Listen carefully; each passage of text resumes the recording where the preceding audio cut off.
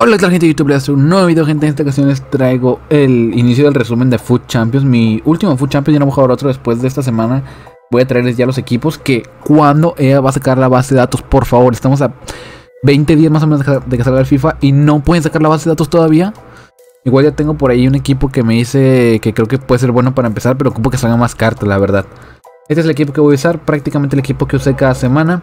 Eh, mis mejores jugadores, la verdad. Metí nuevo a este Son, que aunque sea con 6 de química, 7, va a ser mejor que cualquier delantero que tenga. En la banca Vinicius, Carlitos Vela y Marcelo.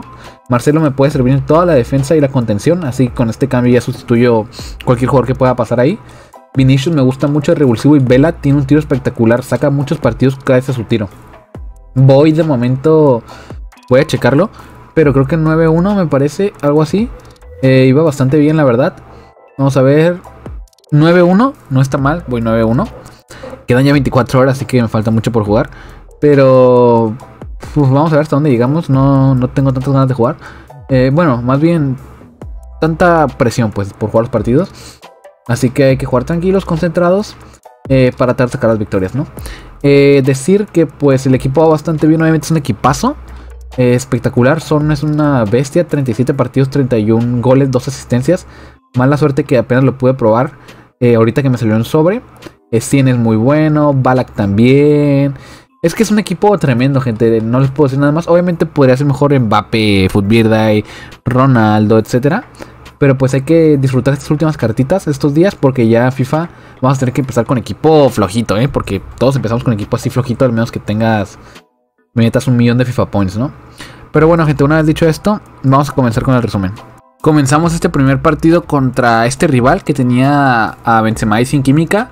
Casi, o sea, eran cartas bastante buenas, pero bastante mal puestas. O sea, contención, doble pivote ahí de Bruin, no sé, Bruno, nadie le va a defender ahí. Luego muy buena defensa. No sé, era bastante raro el equipo, la verdad. Como que usó a los jugadores que tenían intransferibles o no sé. Pero vamos al minuto 7. Ay, los perros empiezan justo cuando empiezo a grabar. Vean, esto es. Siempre pasa lo mismo, gente. Aquí un poco de suerte en el tiro de Riverí. 0-1 em, comenzábamos ganando. Bueno, no está mal. Eh, la verdad, este era un rival bastante sencillo, gente. Bastante sencillo. Vean, minuto 20. Riverí lo estaba poniendo de MSO. Tiré de delantero a Son y en banda a Dembele. Y Riverí, otra vez, jugada aquí nos quitamos al central. Hay un poco de suerte otra vez en el rebote. 2 a 0. Ganando bastante sencillo. Una vez más.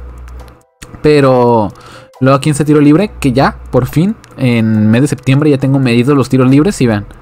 Vean qué bien, qué buena colocación ahí en el tiro. Golazo, la verdad. Eh, ahí con Bar se vio que era gol. Nada, nada de amaño. Aunque el balón terminó fuera de la portería. Rebotó adentro y fue golecito.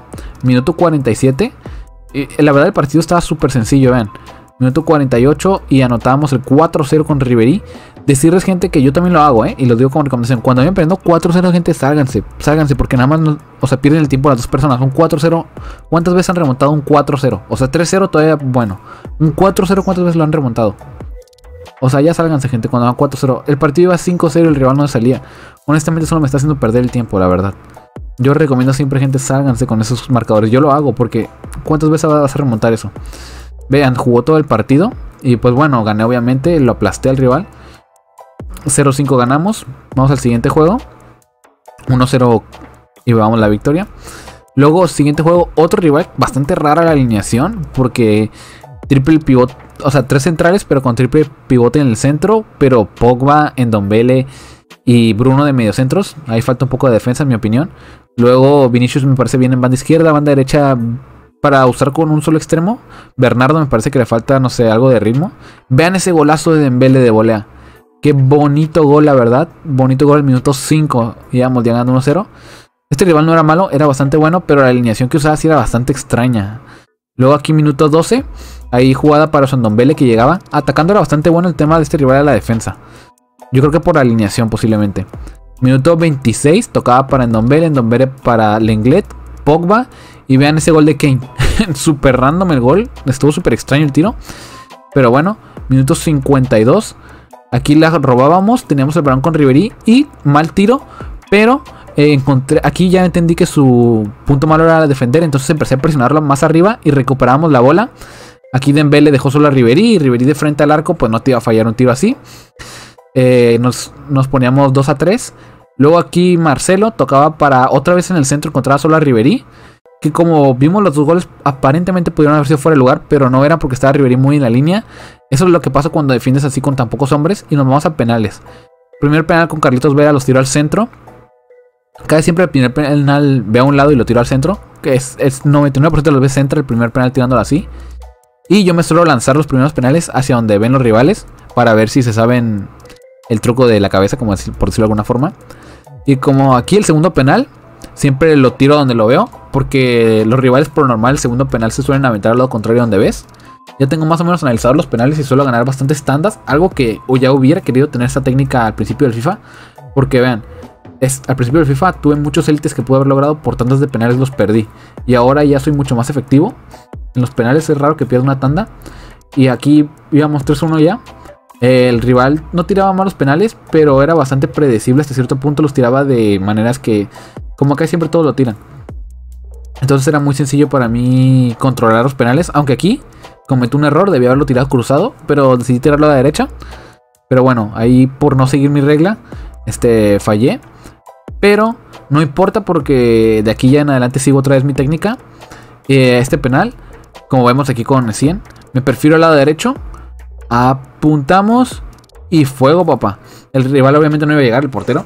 Estirándose más si está del lado izquierdo. Y aquí su Kane, preparada el penal. Eh, la mayoría de rivales, gente, en los últimos penales son muy predecibles, créanme. Son muy predecibles, vean. Siempre, siempre los tiran igual. Siempre. Con esto nos llevamos la victoria 3 a 3, pero ganamos en penales. Es un partido cerrado, la verdad. La verdad, cerrado. Pero empezamos 2 a 0 y para ponerlo luego 9 a 1, vamos a ver hasta dónde llegamos. Esta semana yo sé que podría llegar a élite, pero no sé, no creo que alcance a terminar los partidos.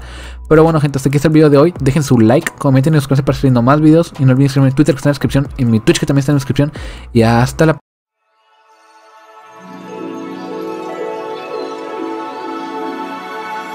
próxima.